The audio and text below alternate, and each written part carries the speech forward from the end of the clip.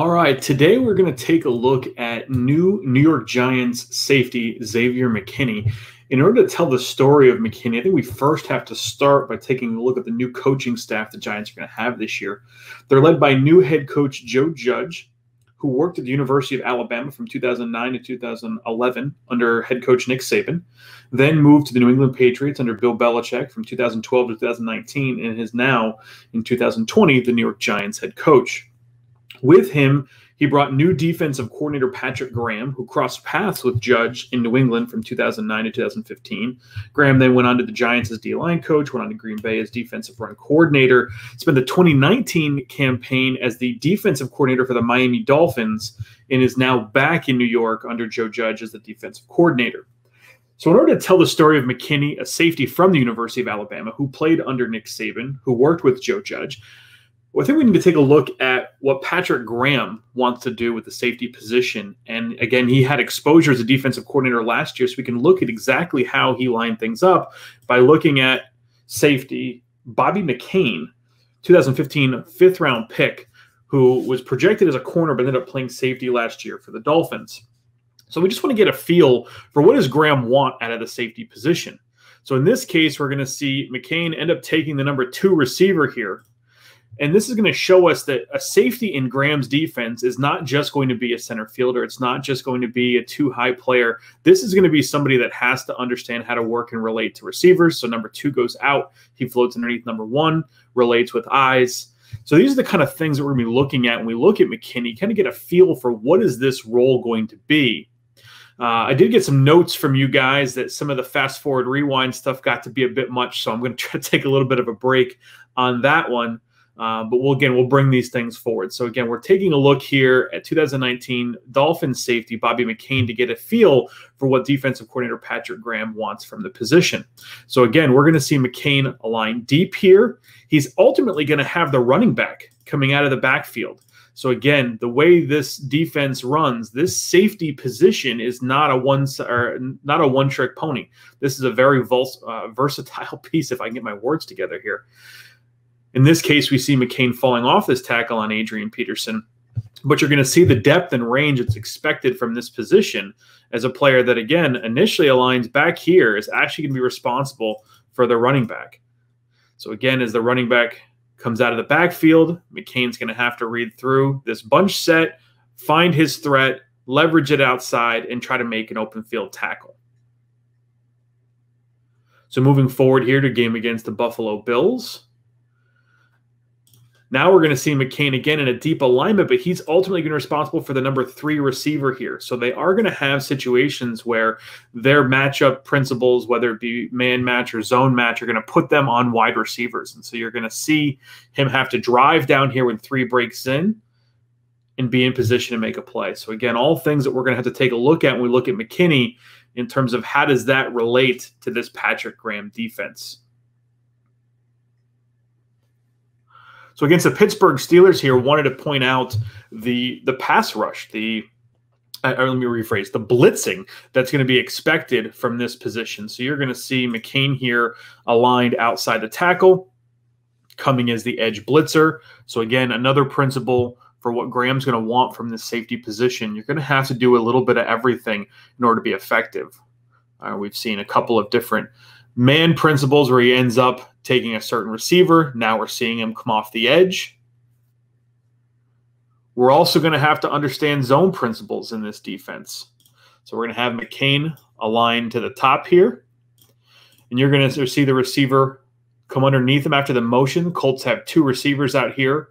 McCain's ultimately responsible for the one coming on the drag route. He's a little bit late with his eyes and needs to react to that faster.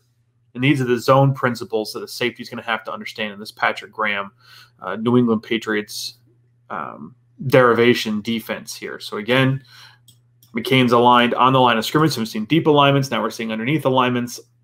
Ultimately, he's going to be responsible for the receiver coming here across the field.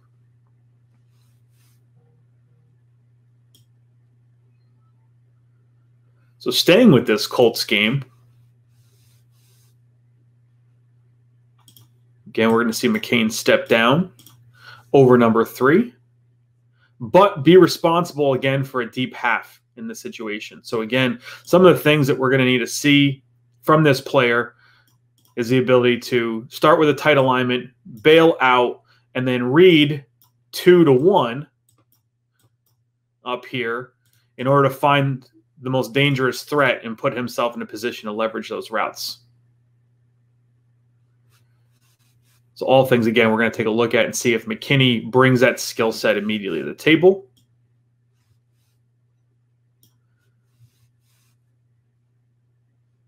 All right. We have another play here in this Colts game. Want to see him do one more piece of what they ask for here, and this is going to be ultimately matched up on the tight end. So we have the tight end here in the Y position in line. You're going to see McCain right above him.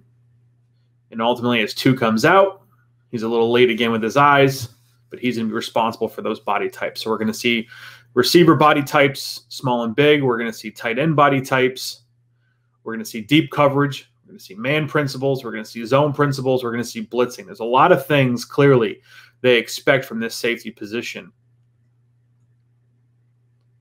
And then finally, the intelligence to know as a blitzer when you're going to blitz the side of the back what you're ultimately responsible for. So in this case, he's responsible for occupying that running back. So as he comes in, he's going to start to feel that running back decide whether or not he wants to leak out. And then he's going to sift off that and stay with that running back and not let that running back become a check down option. So again, we're going to see McCain blitzing the running back, and then he's going to feel that running back towards the end of this play, think about leaving, and put himself in position to take that away.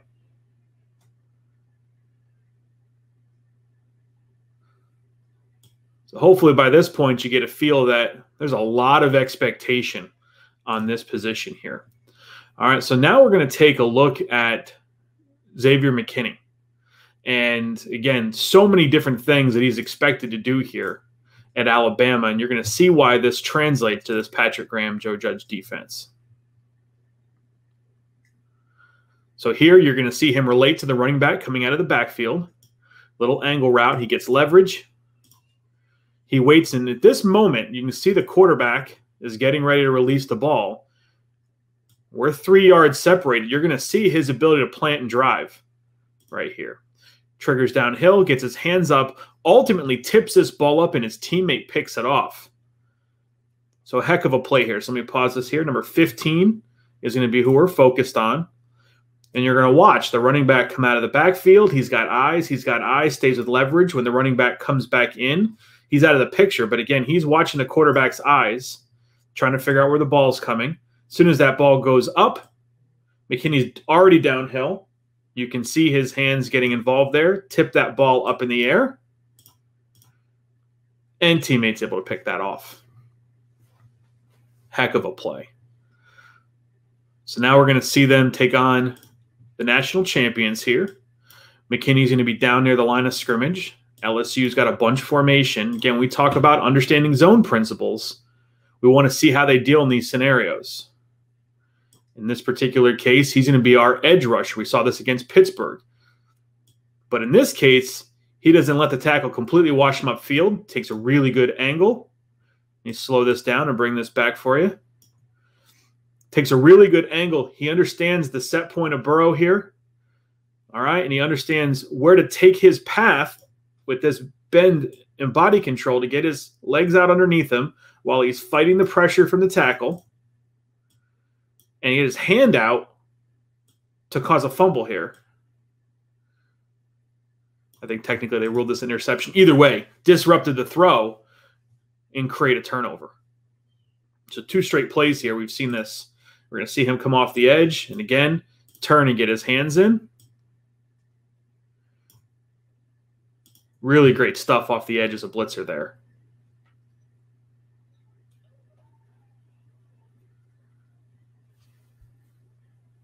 All right, so this is what I was talking about with the zone principles. You're going to see McKinney step down here. He's at linebacker depth in this particular case. Again, LSU's out here with three receivers.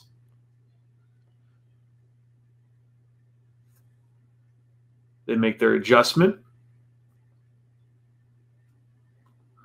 And ultimately, I believe here he's going to be the wall two player. So this is the number two receiver. He's responsible for staying on them. Depending on where they go, two goes vertical, stays right underneath, understands his leverage, and runs with them all over the field. You're going to notice throughout this, McKinney has some corner like movement skills, and he definitely shows them in these situations. Clearly, Nick Saban was not afraid to put McKinney in man situations on these receivers. And LSU, as we hopefully all know at this point, had one heck of a receiving corps. So, not going to get much from this end copy. You'll see it come across the top here at the very, very end. He's down here, and again, had gotten worked himself underneath this option. So, as Burrow's running, that receiver was never made available to him.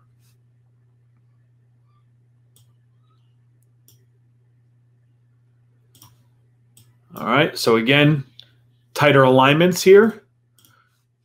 He will have some versatility, but want to see a play where he's got to catch a running back out of the backfield. All right. So we got a running back going out to the flat. McKinney's got to work himself through traffic inside out. And this is the Kansas City Chiefs first round pick, Clyde Edwards Helaire. Uh, we just did a video on him a couple days ago. He is really, really hard to bring down in the open field. So not only did McKinney have to work through traffic to take an angle to a running back, but he actually secured that tackle as well. So you're going to see McKinney here. The back's already in better position than he is. He's going to break across, work himself outside, and ultimately secure that tackle by locking up the legs. Excellent play. So now we have McKinney here against Mississippi State, really understanding what it takes to be an edge blitzer in this particular case. Little subtle adjustment outside right afterwards mess with the protection, you're going to see the pressure he gets when we go to the end copy here in just a second. So again, McKinney starts with an inside alignment. They have an edge player outside. Then once they have this motion back into the formation, McKinney's going to drift himself outside, and now he's free. Beats the running back to the point. So really has a feel for timing and disguise with his edge blitzing, which we can see is going to be a fit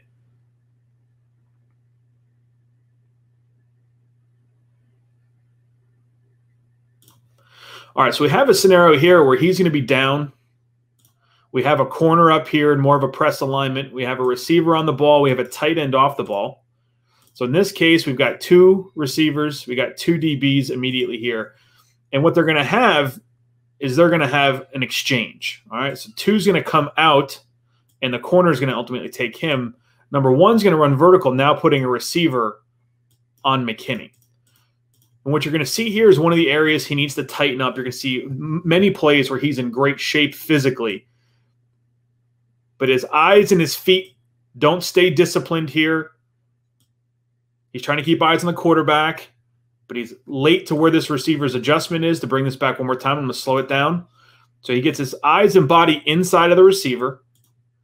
Receiver's able to get to his outside shoulder, and now he's realizing he needs to quickly flip and try to adjust Here's where it is impressive. A lot of people would fall down here. And McKinney's able to stay attached, keep his feet underneath him, and actually work himself back into position to take some of those throws away. Some quarterbacks would not be throwing to that receiver. Certainly other ones would. But again, in this scenario, we have McKinney here. This is the receiver that's ultimately going to take this vertical. And you're going to see where his eyes and his body get after the snap and what that allows number one to do to get to his outside shoulder. Bring it forward just a little bit further, and then we'll slow it down. All right, so let's see him here. First, we have the inside release by number one. So McKinney starts drifting, trying to get eyes. Number one's going to break that outside. And now he's got to work to gather himself and turn. Great recovery, but a couple of things, if he can just tighten it up a little bit, stay a little more disciplined with his eyes and his feet, he's going to be in even better position in a lot of these scenarios. All right, so we're going to have McKinney deep here.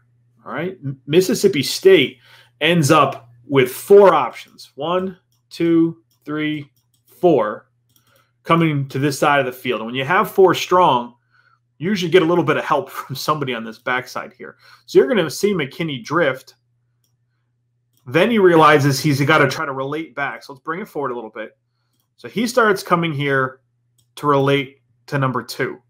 The problem is, is he sees number three screaming up the field, and he's not feeling any help on the backside here. So ultimately, he's going to try to adjust and come back to be over number three. And then it really gets special. As he sees the ball release, you can see him right here stop. He starts to turn. But at this point, the quarterback also sees that. He's got the ball up, and he's going to ultimately throw here to the number two option. McKinney's going to turn and intercept that ball. So he seems to have a real understanding in that scenario. Again, here he is. He's feeling number three coming inside. He's feeling like he needs to relate back there, but he also sees the quarterback clearly threatening right here to turn and get back underneath that. He has some really special skills. This is why he was a projected first rounder. He ended up going in the second round, fourth pick of the second round here to the New York Giants. Uh, many believe in large part due to his 40 time. He ran a 4.63 and then ended up pulling himself out of the combine with cramping issues. And he didn't have a pro day with everything going on, so didn't get a chance to see how he'd do here. So here he is deep, and we're going to see a run fit from depth. Comes downhill with intent, gets to the mix, and he ends up being the primary tackler. So again, here's McKinney. We're going to watch this come forward. And at this point, he's going to come to fill the alley. Here's our ball carrier. He's got to work through all this traffic, sees that ball carrier pop through, and he squares him up and knocks him back. He was not the most consistent tackler in terms of angles. He's absolutely capable, as we've seen, an area that he definitely needs to clean up a little bit. So let's bring this back. I apologize. Get him marked up here. So here he is. All right. They're going to have the corner coming out. He's going to end up having to work underneath that. And you're going to see, again, his zone awareness to find threats. So he's not feeling a threat coming out, but we have number two screaming across here. So he's got to relate and get depth underneath that. Now, there's a good job here by this receiver of working back to green grass. So you're going to see McKinney end up losing him at the top. The ball does come in, but he's got a real knack for getting his hands in. What's really hard to see here is actually getting his hand in on the ball and rips that out and creates another turnover. So again, here he is here to start the play. He's checking for threats out in the flat. This guy's peeling across, so no threat there. So he's got eyes here. Is this guy coming out? As soon as he feels like he's late to come out, he's working back for depth under number two. Loses him a bit there, but again, that burst to close and that knack for getting the ball out. Ball carriers are going to have to pay attention here in the NFC East. There's no doubt about it.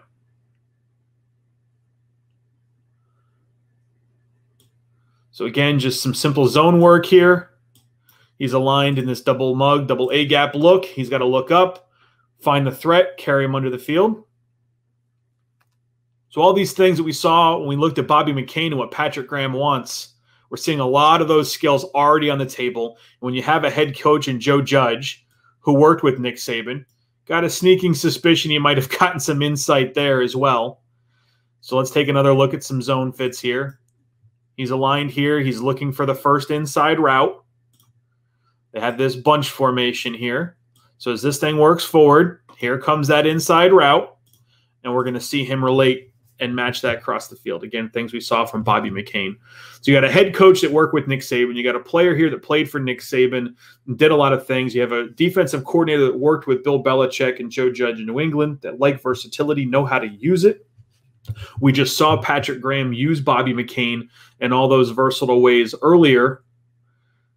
And so this to me just again screams an immediate fit. This should be an immediate contributor. I do like to point out the good with the bad. So here's another time where his eyes and his feet are not tight. We've seen him relate so well in so many other situations. He gets a little bit lazy with his body posture. He's a little bit tall.